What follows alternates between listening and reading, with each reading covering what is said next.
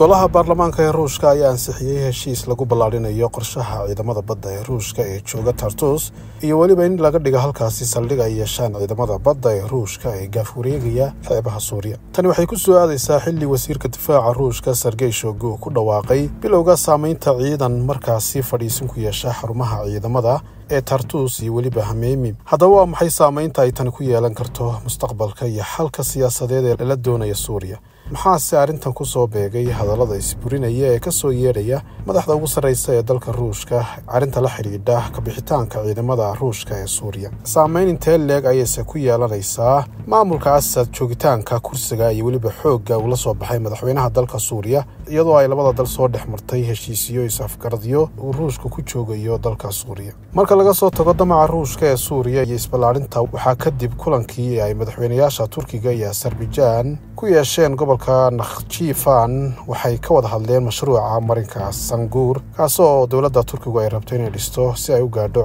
caasimadda dalka asarbijaan ee baku si ay dib ugu soo ceshato xidhiidhkeedii hore ee taariikhiga ahaa ee ay ku lahayd bartamaha eeshiya inkastoo dhismaha marinkani uu ka mid ahaa qodobadii heshiiskii lagu soo afjaray dagaalkii labada kun iyo labaatankii xilligaas oo asarbijaan u suurta gashay inay dib u soo ceshato gacankuhaynta dhul ballaadhan oo ka tirsan gobolka karabakh. Armeniya waxay dhinaceeda walaac muujisay heshiiskan iyadoo isku dayeysa inay khalkhal iyo dib u ku abuurto hirgelinta mashruucan taasoo ay iiraan ku aydsan tahay armeniya mowqifkaasi. Inkastoo turkigu isku dayaya inuu ka dhaadhiciyo dowladda iiraan in mashruucaas ay ka faa'iidaysato islamarkaana uu faa'iido badan u leeyahay balse dowladda iiraan uma aragto dalabyadan mid wanaagsan. Heshiiskaas oo soo afjaray dagaalkii labaad ee ka dhacay gobolka karabakh ee uu dhexdhexaadin ka ahaa ruushku ayaa qeexaya in armeniya ay damaanad qaadi doonto ammaanka khadadka gaadiidka ee sii mara dhulkeeda ee u dhexeeya gobolka nakhshifan iyo asarbijaan iyo dhulka intiisa kale ee asarbijaan dhanka afrikana haddaynu eegno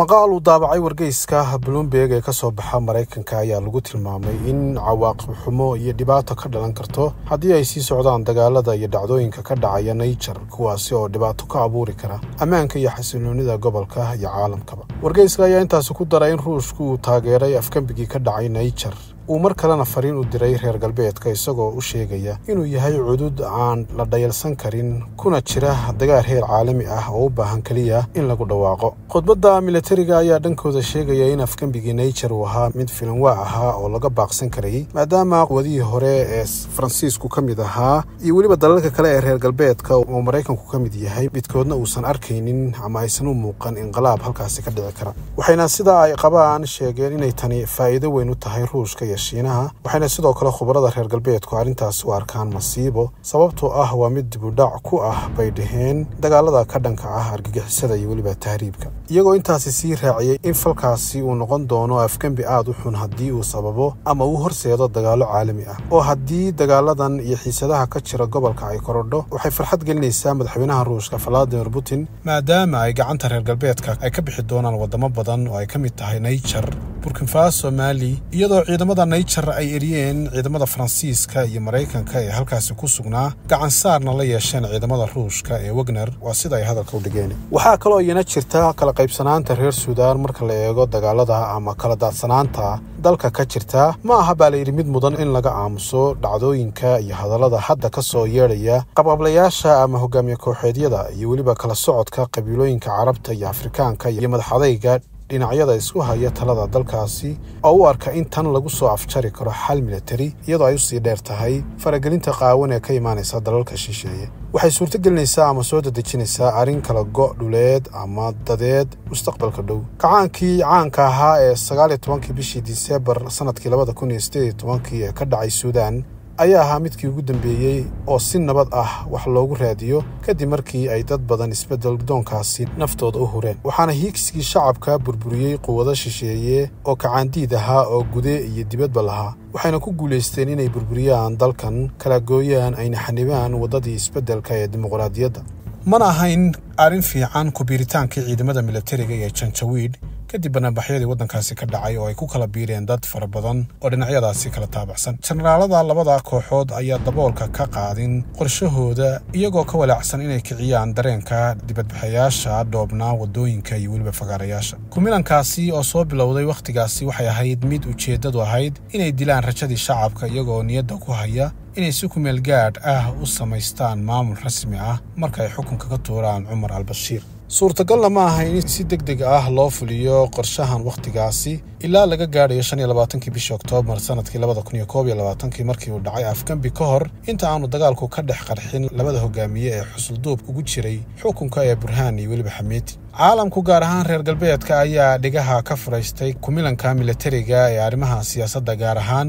kadib markii hogaamiyaasha afgembiga sameeyey iyo jarnaaladoodii ay waddo kasta u mareen si ay u maamulaan dadka una qaybsadaan talada iyo weliba hantida. Alburhaan waxa uu xidhiir la yeeshay netanyahu xameytina waxa uu sameeyey kanaal isgaadhsiineed isagoo gacan ka helaya taageerayaashii gobolka ee mosaad israel. Waxayna u badan tahay in dagaalka suudaan uu sii dheeraado waxaana daliil u ah inay raadinayaan caasimad kumeel gaadh ah oo ka baxsan caasimadda hadda ee khartuum iyo saddexda magaalo ee u dhow kuwaasi oo xudun u ah dagaalka. Maalinba maalinta ka sii dambaysa waxaa sii kordhaya colaadda iyo weliba in arrintani ay gaadho meel aan laga soo noqon karin waxaana sii badanaya khatarta ah in dalka loo kala qaybiyo dhowr qaybood ama dalal yaryar maadaama aysan muuqan xal ka soo socda kala qaybsanaanta durugsan. Xiisadda u dhexaysa masar iyo etoobiya ayaa iyana meesha ka maqnayn. Kadib markii uu soo idlaaday shirkii afaraad ee ugu dambeeyey ee ka dhacay caasimadda dalka etoobiya adisababa wasaaradda waraabka ee masar ayaa bayaan ay soo saartay talaadadii ku sheegtay in la soo afjaray wadahadalladii saddex geesoodka ahaa ee u dhexeeyey masar suudaan iyo etoobiya bayaanka ayaa sidan u dhignaa masar waxay si dhow la socon doontaa habka buuxinta iyo adeegsiga biyo-xidheenka etoobiya waxayna masar sidoo kale ilaalinaysaa xuquuqdeeda sida waafaqsan heshiisyada caalamiga ah si ay u difaacdo biyaheeda iyo weliba wixii wax u dhimi kara amnigeeda qaran. Maalintii xigtayna ma jirto war cusub oo soo baxay kadib markii wasaaradda waraabka ay soo bandhigtay natiijada wadaxaajoodka golaha wasiirada masar. Keliya waxay xaqiijisay in kaahira ay sii haysato xuquuqda ay u leedahay inay difaacato ammaankeeda biyaha iyadoo aan sharixin sida ay yeeli doonto marka uu dhammaado sanadkan. Taasi waa gebagabada xiisadihii jiray sannadkii labada kun iyo saddex iyo labaatanka ee la soo dhaafay. Waxaana la saadaalinayaa dhacdooyinka waaweyn eeyana soo socda sanadka cusub ee labada kun iyo afar iyo labaatanka. Waa barnaamijkeenii xulashada dunida oo aad kala socoteen warbaahinta ballaaran ee horfadhi miidiya